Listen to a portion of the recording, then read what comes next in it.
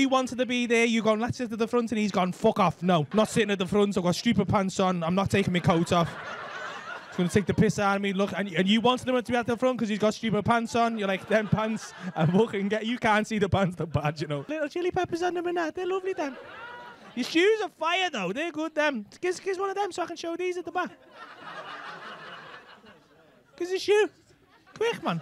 Oh, fucking, just pull it off your tit. Fucking little muzzy ones.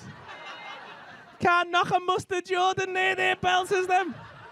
Man's got style, you know. Little gilet on and all that. Yeah, man's man's rigged out for the winter time and the summertime. I don't give a fuck. What's your name, mate?